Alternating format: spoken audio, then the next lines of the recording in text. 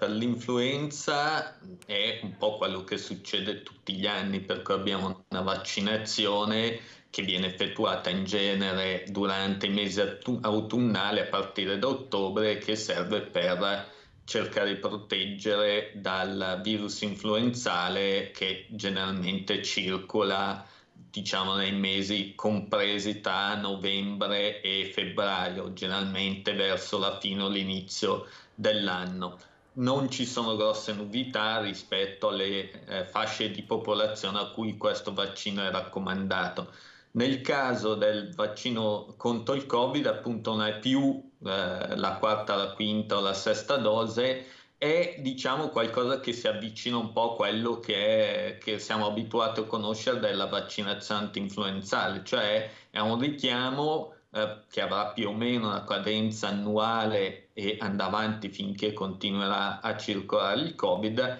raccomandato più o meno le stesse fasce di popolazione per cui è raccomandato il vaccino dell'influenza, che sono persone che sono a rischio non solo per il Covid, ma diciamo per molte infezioni respiratorie, per cui le, le persone che hanno un'età a partire dai 60 anni, chi ha eh, particolari malattie croniche e poi eh, ci sono gli operatori sanitari, ma più perché è una, anche una tutela per le persone fragili che vengono da loro assistite e le, le, donne in gravidanza. L'obiettivo di entrambe le vaccinazioni non è tanto proteggere dalla malattia. Chi si è vaccinato è possibile che si ammali, la, l'obiettivo delle vaccinazioni è proteggere dalle forme più gravi. In questo caso eh, la protezione si estende oltre i tre mesi, che sono un po' quelli per cui c'è una protezione più rispetto al rischio di ammalarsi, no? per cui fare